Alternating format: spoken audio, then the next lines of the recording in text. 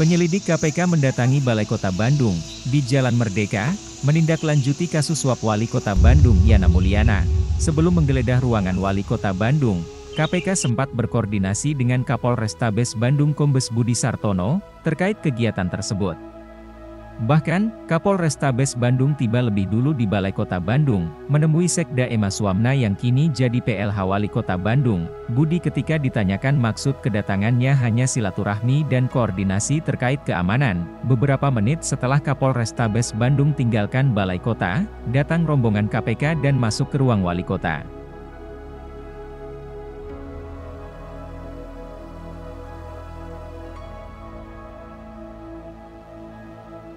Hmm, bismillah. Tidak diperkenankan masuk. Petugas KPK telah masuk ke ruangan kerja wali kota Bandung. Iya, si KPK-nya kelihatan. Hmm.